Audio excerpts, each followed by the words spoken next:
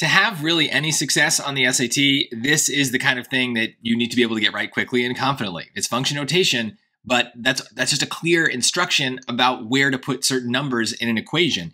Here, they're being even more generous than usual. They're telling us that x is equal to negative 8. So we just know put negative 8 in for x. So I would do this in my head, but 3 negative 3 times negative 8 plus 60 is really what we're doing here. So negative 3 times negative 8 is positive 24 plus 60 is 84. That's the whole thing. Now, the uh, one of the things that people kind of struggle with when they're first learning function notation is how do we make sense of this f of x?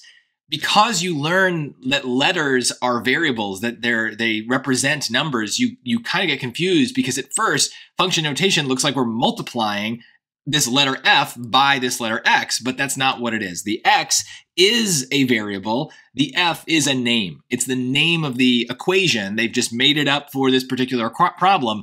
And then it's an instruction that when they say something like, what is f of negative 8, they are telling us to put negative 8 in for the x's in the normal part of the equation, and we're going to get a y value out, basically. So hopefully that all makes sense. That's the kind of thing to go back to like Khan Academy or just ask your math teacher in school if you need help with function notation because that's very fundamental. And of course, the SAT is going to find ways to, to make it harder, but that is not happening here. This is as basic as function notation comes.